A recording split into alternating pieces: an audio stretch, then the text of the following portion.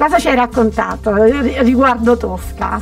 Vabbè, eh, niente, insomma, un artista veramente di grossa levatura che io ammiro molto. Eh, possiede un mio piccolo dono che ha gradevolmente esposto con mia soddisfazione quando si è fatto intervistare per, una, per un passaggio su Facebook, sul suo canale Facebook. Che bello! Ha gradito molto questo mio pensiero. Vedi, perché... ma a me è piaciuta tantissimo anche questa combinazione, questa, questa fatalità, che io poi dico sempre che nella vita la fatalità non esiste. Vero? Eh, le cose sono nell'aria. Le cose sono nell'aria, bravo, è proprio così. Eh, Gennaro, quali sono le tue fonti di eh, ispirazione, ma in modo particolare quali legami hai con i maestri del passato? Eh. È una domanda difficile perché eh, io credo di avere legami eh, co- con tutto il passato, con tutti i grandi maestri del passato, perché ogni volta che te ne affacci a guardare uno dalla, dalle enormi finestre che ti possono spalancare, c- trovi qualcosa che ti appartiene. Eh, sinceramente non saprei individuare perché della storia dell'arte mi piace tutto perché tutto ti può dire qualche cosa, fino anche alcuni ambiti di, dire, dei pittori dilettanti, perché hanno sempre da insegnarti una via, indicarti una direzione, ma non lo dico io, lo diceva anche Pablo Picasso. Certo.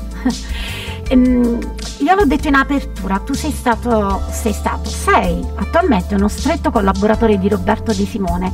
Tantissime ehm, le, le, le, le, cose a cui tu hai partecipato, abbiamo detto eh, hai realizzato pubblicazioni editoriali, le fiabe campane, lo Cunto dei Cunti, la canzone napolitana nella collana I Millenni in Audi Editore. Sempre con lui hai firmato le scene per l'opera lirica Il Re Bello al Teatro La Pergola di Firenze. Eh, hai partecipato alla scenografia dello spettacolo Trianon Opera tra pupi sceneggiata e bel canto di Roberto Di Simone in scena eh, al Teatro Trianon di Napoli per Rai Cultura, eh, Rai 5. E quanto è importante eh, questo, tua, um, questo tuo incontro nel tuo viaggio artistico con questo maestro immenso al quale veramente io mi inchino ogni volta? Eh, non può che non essere importantissimo, ma d'altra parte eh, geni come quello di Roberto De Simone finiscono per influenzare chiunque gli si imbatta eh, contro. Diciamo, Eh, io ho avuto la fortuna di cominciare con lui da ragazzo perché avendo fatto una tesi di laurea per l'accademia, di diploma per l'accademia si diceva allora, eh, sul suo lavoro di Gatta Cenerentola l'ho incontrato e incredibilmente mi sono accorto che delle mie tendenze di passioni, delle curiosità eh, sul punto di vista antropologico, simbolico, analogico, eh, dovute a dei corsi meravigliosi, soprattutto il corso di storia della musica che feci all'Accademia di Belle Arti di Firenze, con un professore che non dimenticherò mai, che si chiamava Benny. E, come dire, cominciai a scoprire la mia, da dove venivo, grazie a lui, da dove, come mi ero confrontato.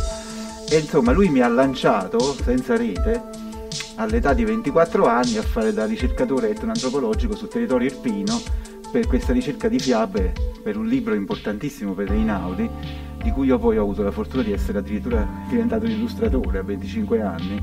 Un millennio a 25 anni è un punto di arrivo per qualunque eh, artista. Certo.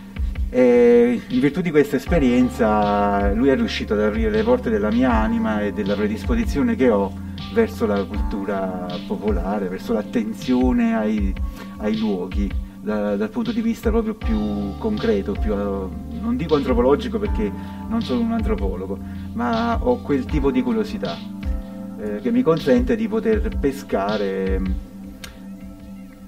dei contenuti che poi riesco alcune volte, come nel caso di Mefilis, a, a ricapitalizzare nel mio lavoro espressivo e si intitola Canti della dimenticanza, il nuovo album di Raffaello Converso, impreziosito dalle orchestrazioni ed elaborazioni del maestro De Simone, che a febbraio è uscito anche in vinile. I Canti della dimenticanza um, sono i suoni della memoria, dell'immaginazione, un vero e proprio progetto antologico a cui anche tu hai fatto parte, hai collaborato realizzando proprio l'immagine di copertina del disco. Sono andata a scovare anche questa cosa che non c'era nel tuo curriculum.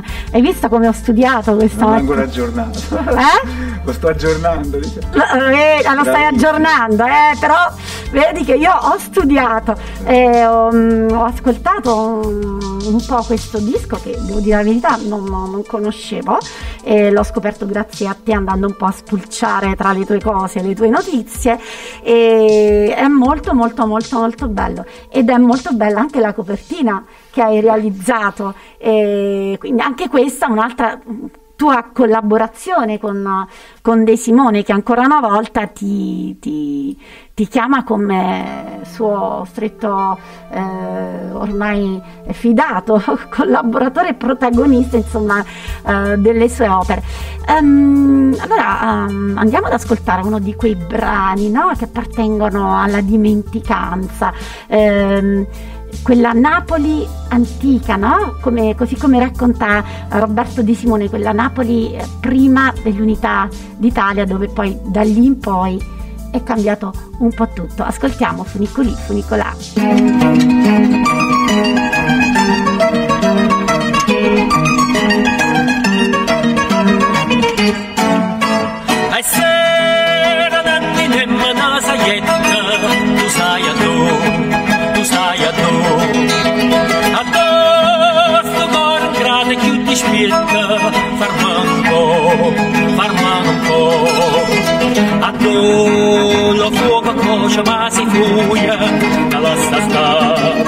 La sta sta. E non te corra non struia, sulla guarda, sulla guarda. Yamma, yamma, doppa yamma ya, yamma, yamma, doppa yamma ya. Funiculi, funicula, funiculi, funicula, doppa yamma ya, funiculi, funicula. Yamma,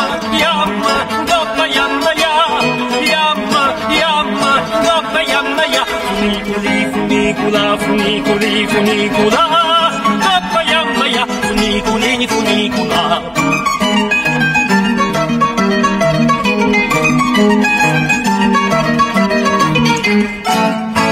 Să ne s-aiutau ei, să ne s-aiută la capăcea, la capăcea.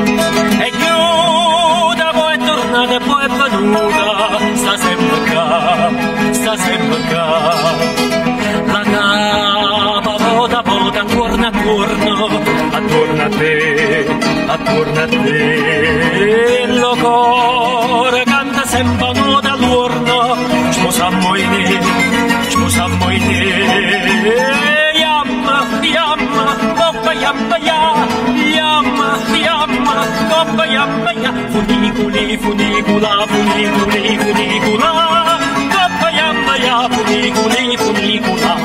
Yamma, yamma,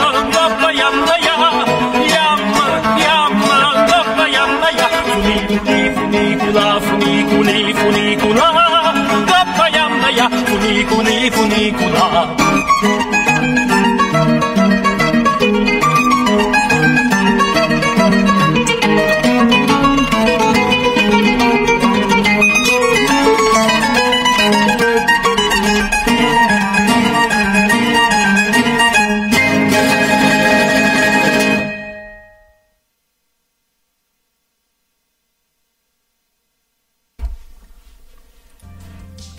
Siamo tornati on air, siamo qui con il nostro eh, ospite di oggi, il nostro amico eh, scenografo, pittore e illustratore Gennaro Vallifuoco. Tra le tante opere tu hai realizzato anche il bellissimo sipario del Teatro Gesualdo di Avellino, che è un capolavoro unico, non lo, non- non- non- lo dice eh, solo, no- non lo dicono solo eh, gli articoli che ho letto in merito, ma lo dico anche io che sono una frequentatrice di quel teatro e che posso testimoniare veramente eh, che si tratti di un capolavoro.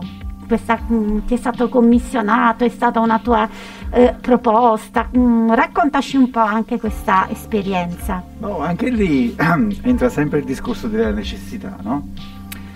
certo punto uno come me eh, si pone in una condizione di ricezione di furie, di entità che ti bussano alla porta e ti chiedono delle cose. Ora in quel momento io non mi ricordo neanche perché, ma insomma ebbi la necessità di pensare a questo progetto che proposi innanzitutto a quando c'era al comune di Avellino assessorato alla cultura il grande professore Giuliano Minichiello che Sì. non c'è più Eh, e che mi dette molta fiducia su quest'idea. che tra l'altro ha origini eh, del mio paese. Ah, Quindi, sì, non eh, sapevo, sì. eh. Ah, lo, lo- lo- tenevo Grandissimo. vicino di casa, insomma, Ah, ecco. ho avuto questa fortuna, che mi accettò molto, con molto entusiasmo questo progetto, però proprio in virtù di questo fatto lui poi si, si- si dimise, insomma, cambiò l'amministrazione e subentrò Salvatore Piazzo che quando gli presentai l'idea fu entusiasta. Eh, l'idea mi è venuta, dire, per, per dare, per mettere, eh, dire, molto discretamente, secondo il mio volere, secondo il mio parere, con la mia, un segno della mia arte all'interno del teatro a cui tengo molto. Eh, ma non è soltanto un segno della mia arte, perché il sipario dipinto, che poi diventa sipario storico di un teatro di una città, è come una bandiera, è come un vessillo, è un, è un manifesto di identità. Ehm, le persone che lo hanno visto nel corso degli anni, fino a quando funzionava il teatro e che questo sipario veniva attivato, mh, erano entusiaste e sono consapevoli di- automaticamente di quello che sto dicendo qui adesso io. Probabilmente molto meno, c'è molta meno sensibilità da parte delle amministrazioni che si occupano di, di, dire, di- di amministrare quel luogo eh, e purtroppo non ne capiscono il potenziale. ehm, se non altro perché questa è un'opera d'arte che le cui dimensioni sono di per sé straordinarie potrebbe creare una- un indotto anche minimo di visite scolastiche. Assolutamente. È, un- è un'opera importante ora, al di là dei me, insomma, Certo. è un'opera pittorica in tempo eh, moderno, in epoca contemporanea, eh, sono cose che non si fanno più perché era un'abitudine protrattasi quasi istituzionalmente fino al 1800. Però ecco, mi sembrava simpatico riproporla. È stata, è stata un- una bella proposta, devo dire. E poi siamo sempre un po' lì e le istituzioni a volte sono un po' lontane, la, la sensibilità delle istituzioni sta, sta un po' da un'altra parte, ma questo poi è un altro discorso nel quale ci andremo troppo, secondo me.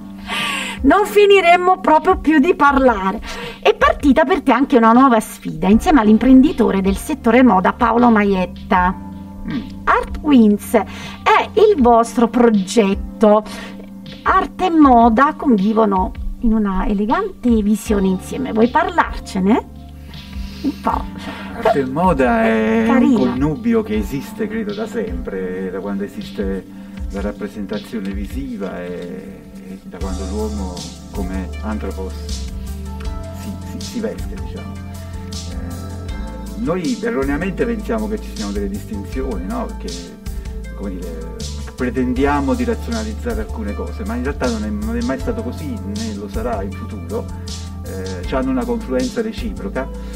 Io, io, Paolo e Riccardo Carnavale nello specifico, è come se ci fossimo trovati un pomeriggio, come dire, a pigliarci un caffè al bar, un po' da ragazzacci eh, e un po' impertinenti, ci siamo inventati questa cosa, cioè questi gemelli d'artista, eh, fatti di legno e da me dipinti con delle proposte figurative, insomma, per far com- come dire, per dare dei segni della mia arte anche eh, potenzialmente addosso alle persone, insomma, su- su- ai polsi di una camicia. Eh, e sono, eh, gli ultimi sono stati donati e regalati a chi? Ho visto. a- Oh, abbiamo fatto un dono dei gemelli a, A Vincenzo- a Salemme. Vincenzo Salemme. L'ho apprezzato molto, devo dire. Eh, eh, certo, eh, avrei apprezzato anch'io. eh.